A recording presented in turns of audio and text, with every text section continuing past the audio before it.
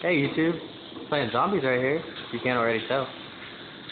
But, what it is, we're on wave 5, 6, 7, that's wave 8, right? Yeah, wave 8. And the last zombie just happens to be a crawler, so we're sitting here, well, Harley, just sitting here, jumping over him, just sitting there screwing with him. Be like, yeah, nigga, you can't get me. Who's that? Who's that? Oh, oh, Harley. Go buy some claymores and set one right in front of him.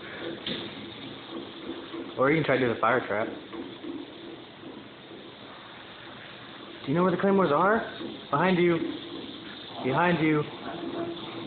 To your right. What are you looking for? The fire trap is all the way in the fire room. All the way where the box is. It's gonna take forever for the zombie to get there. So, just like kill him now. With the claymores. To your left. There they are. The claymore. Claymore. Boom. He's dead. Okay. Now, I gotta get back to the game. So, bye YouTube. It's Harley anyway. hey Harley.